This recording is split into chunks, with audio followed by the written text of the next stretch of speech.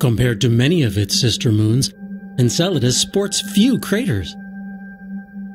And the largest is relatively small, only 22 miles across.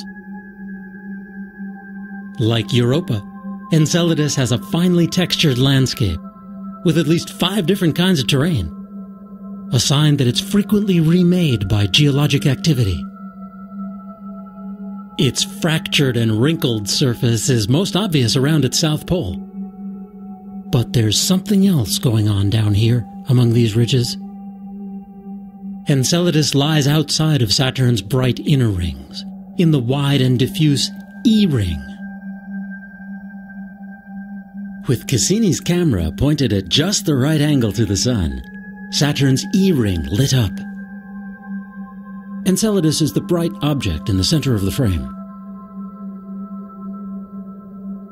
What is all this hazy stuff made of? Could it be coming from the moon itself? The plan had been to let Cassini tour the Saturn system until the middle of 2008. But the mission was clearly too successful and too intriguing to let it end and the Cassini science team suspected they were onto something big.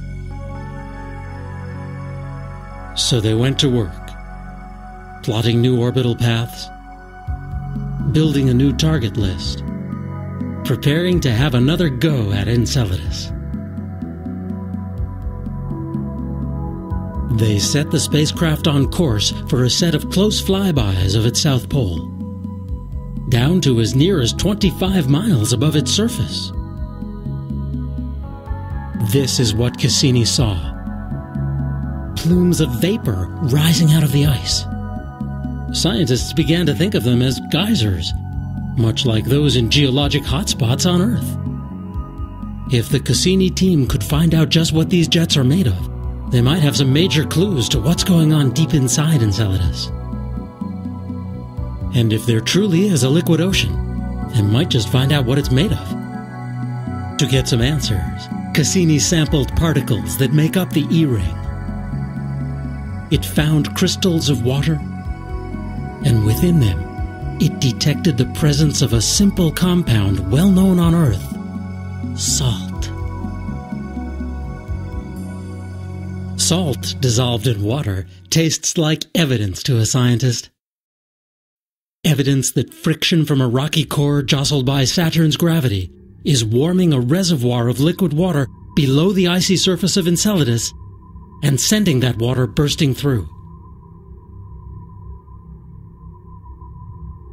Now, to be accurate, Enceladus jets could possibly form without liquid water. And even if they began as liquid, they may boil up out of a few water filled caverns rather than a huge ocean. But if this tiny moon's waterspouts do originate in a sizable subterranean sea, the possibilities for life throughout the galaxy may be that much greater. How amazing! Almost 900 million miles from the Sun, far beyond the orbit of Earth, and far outside what many call the Goldilocks zone for living things, this distant little moon might just harbor the conditions needed for chemistry to become biology. And so we continue to mine the kingdom of Saturn for knowledge and images, and not just from space. For eight years, astronomers at the Gemini North Telescope in Hawaii had been monitoring the infrared light streaming in from the Saturn system.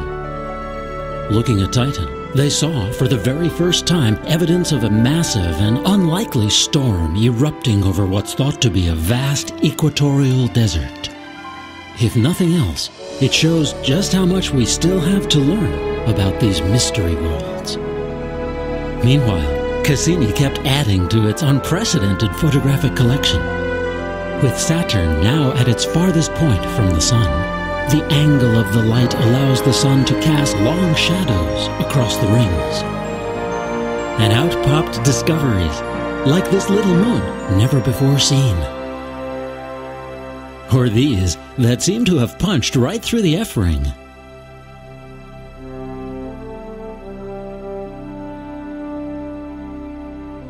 We don't yet know if Saturn's moons have ignited the spark of life. But since the time of Galileo, they have certainly ignited our imaginations.